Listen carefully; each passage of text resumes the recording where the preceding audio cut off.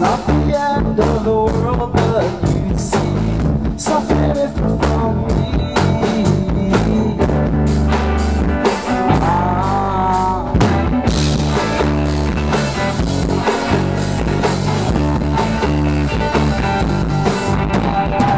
You wish your books would read themselves, then you would have to read.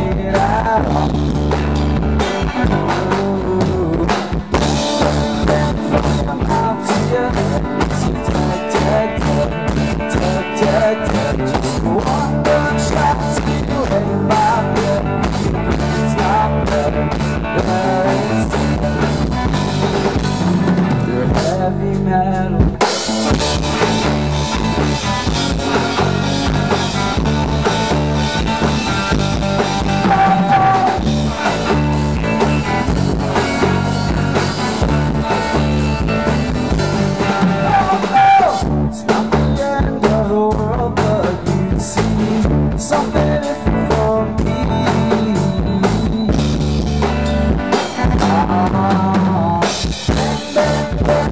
I'm out. It's just.